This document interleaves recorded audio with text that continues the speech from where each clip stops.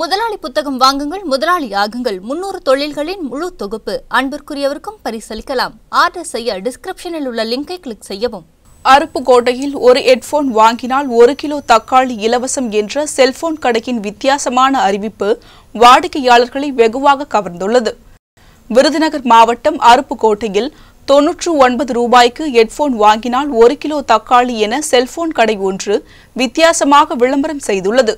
தொடர் மழையால் தக்காளி வரத்து குறைந்ததால் அதன் விலையும் தாறுமாறாக உயர்ந்துள்ளது.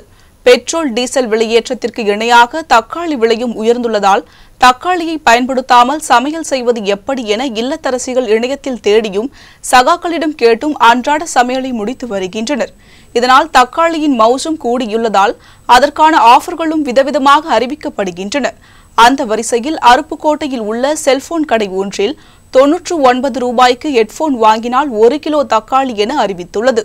வித்தியாசமான அந்த அறிவிப்பை கேட்ட பொதுமக்கள் ஒரு கிலோ தக்காளி வெளியில் நூற்று ஐம்பது முதல் நூற்று எண்பது வரையிலும் விற்பனை செய்யப்படும் நிலையில் இந்த அறிவிப்பு வாடிக்கையாளர்களை கவர்ந்துள்ளது.